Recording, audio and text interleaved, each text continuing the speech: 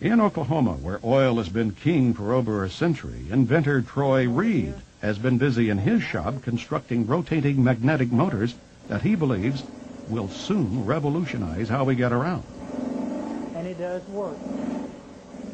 This is a new prototype of the magnetic motor, and if I can explain a little bit about what you call a magnetic field. All magnets, the big old wooden prototype, has a system. As the motor went over, it had a tension to jerk. Jerk over like that. If you take this motor here and you take your finger and rotate it, it doesn't have that jerking in it. So what I've done, I got rid of the crankshaft. I got rid of the crankshaft. I've got rid of, the, the injectors. And the system in this motor here, as you crank this motor up, and like you do the other one, the motor will start running. And uh, what I'll do, I'll energize it on this motor here. If you can see these amp gauges over here, this will come, when we get it up to about 150 volts, we'll unplug it and we'll turn the light on. If you turn this around where you can see this side here, all the working parts is behind this system here, operates from a little computer. Takes just 5 volts. It's 150 volts. What we're going to do, turn off all the switches, make sure there ain't nothing plugged into it. There's the plug. There's your 110 volts. Motor still running. You can operate this table plumb around. Still got energy running. Nothing tied up in the back of it. Nothing on the floor. Rotate around, still running up, running electricity. So we're looking, hoping, hoping this time next year that you'll be able to use it in your home.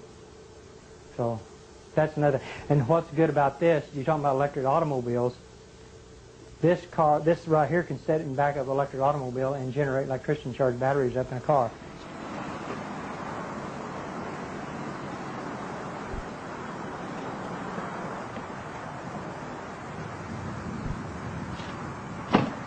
Beautiful automobile. You can drive it anywhere you want to. You don't pollute the air. All the other electric automobiles that I've actually seen has been nothing but this standard transmission. This is an automatic transmission car. There's not a whole lot of what you call junk, I would call under cars. Uh, I've seen a lot of electric cars that had a lot of stuff in it. Only thing that this has, has a battery to run the uh, radio, uh, the blower.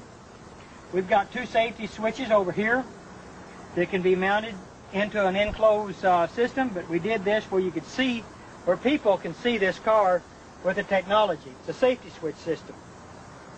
This is a uh, controller box, a Curtis control box. It cuts the amperage down. So with the amperage, here's what's real good about electric automobiles. All electric automobiles that have surge technology with this in it, they create heat. They've got to have a fan to blow this blow this uh, this uh, Curtis controller off because it gets hot. We don't want that to get hot. We want to stay that cold because once it stays cold, you save on all the all the computer chips that's in this uh, controller. So that means you can go farther, longer, and you don't have no problems.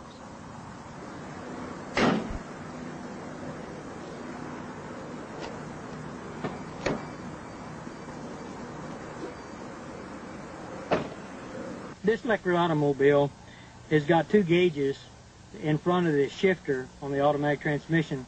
It's called the voltage and the amperage. That's what I was talking about earlier about amperage on automobiles. Let's see if we can't get the amperage to go down instead of going up. The voltage on this here should say somewhere around 120 volts. When we start out, there's no amperage at all. So the gauges is down below here, and we're getting ready to take and go drive the car, and uh, you can see for yourself what it does. All you do is to take and put it in gear, and the motor sounds like a little sports car. Shifts, runs good. Fantastic automobile, drives. If you'll see the amperage on the gauge, see it going down? Amperage goes way down. That's what that's what I like about electric cars.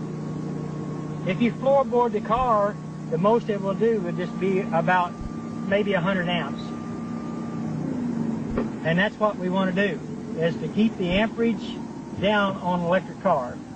So it'll go anywhere uh, really anybody wants to go. If you want to take a trip, you don't have to worry about going go plug in the house because it's called the Surge technology. Uh, it's a beautiful automobile and I love it and I've put a lot of hard work in this car and we're going to make it. No oil, no gas to fool with. And the technology is here. It's going to be here.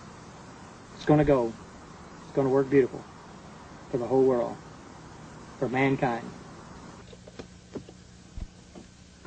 See you around. This is your future, people.